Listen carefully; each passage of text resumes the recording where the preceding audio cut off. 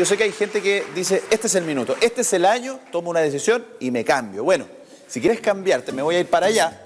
Si quieres cambiarte y buscas un departamento, puedes conocer el único bosque urbano en el centro de Concepción.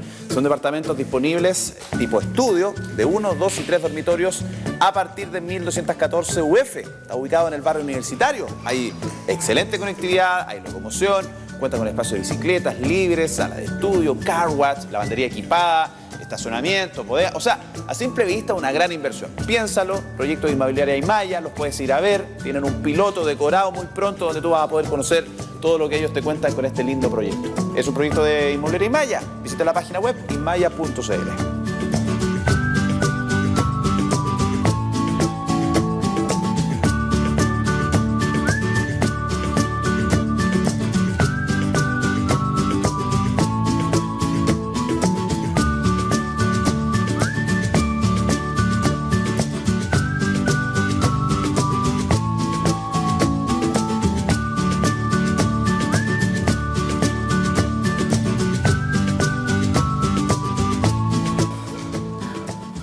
Cuando pienses en belleza, te queremos invitar a Perfumerías Rote Rose porque ahí vas a encontrar una gran línea de productos que te van a ayudar a sentir la confianza y la seguridad de elegir con la mejor asesoría, lo más adecuado en maquillaje, fragancias, cuidado corporal, facial y las líneas de capilar. Puedes visitar sus locales en Rengo 588, acceso a Galería Caracol, en Colo Colo 556, entre Barros Arana y Freire. Y en Facebook los encuentras como Perfumerías Rote Rose.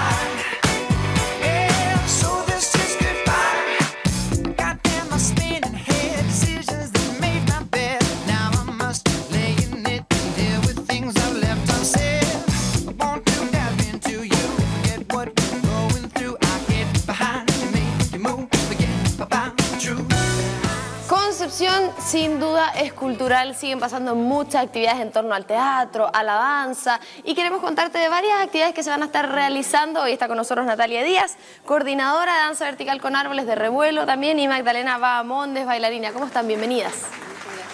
Chicas, tenemos actividades, queremos invitar a la gente, sobre todo en esta temporada, sabemos que es verano, hoy día en particular hemos entregado muchísimos panoramas y queremos que la gente se sume también al área de la danza. Por supuesto, estamos aquí para entregarles la información de lo que vamos a hacer eh, como revuelo.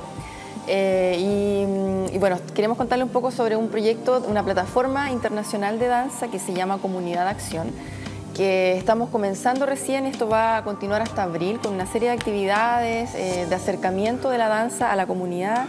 La idea es acercarnos y también acercar a la gente a esta disciplina. Eh, y entonces hoy día venimos con la Magdalena Pavamondes, que es una artista que, bueno, residente en Francia, chilena, que ya les va a contar un poquito más sobre, sobre su trabajo.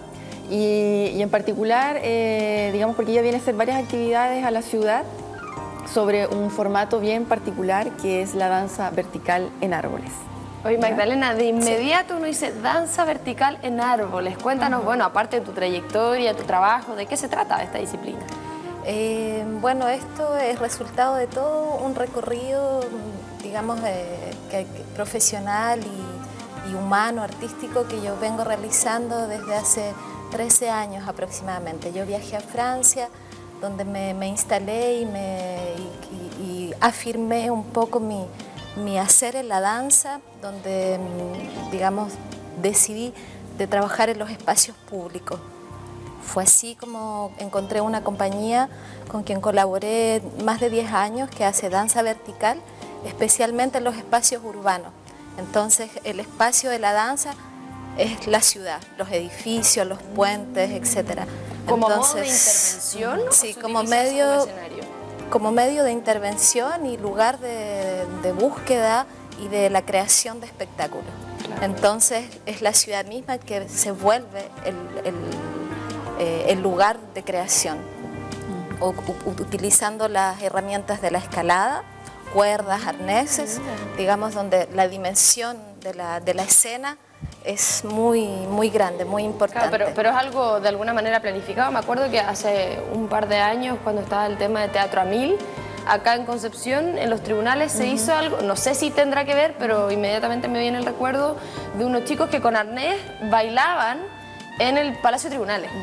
Y de hecho eso se iba mezclando con algunas proyecciones y me imagino que también el uso tiene que ver con eso. Sí, eh, seguramente que sí. Ahora el trabajo que yo vengo a hacer acá, digamos que es este proceso de encuentro con los árboles, con el espacio, los espacios naturales y con el árbol como ser vivo y soporte una, como ser vivo, ¿no? Entonces, bueno, esto también como en mi camino, una necesidad personal también de acercarme a estos espacios, de acercarme también a las personas que están en relación a, a estos lugares y al árbol eh, entonces llevo como cuatro o cinco años donde estoy explorando y desarrollando un lenguaje para la creación y también para compartir también esta experiencia con las otras personas. Cuando pensamos en danza vertical en, árboles o con árboles, ¿tiene que ver con, con la interacción directa del baile o de los distintos pasos o de la performance que se haga con los árboles en sí? Sí, completamente. ¿Cómo para funciona? Mí, eh, bueno, las herramientas siguen siendo las herramientas de la escalada, pero más ahora más en como en relación al árbol como materia viva, que ya no es el soporte urbano, que no es un edificio, sino que es, un ser vivo al cual hay que respetar, proteger, escuchar. Entonces se hace, eh, disculpad, me salen las palabras Entonces que hay que realmente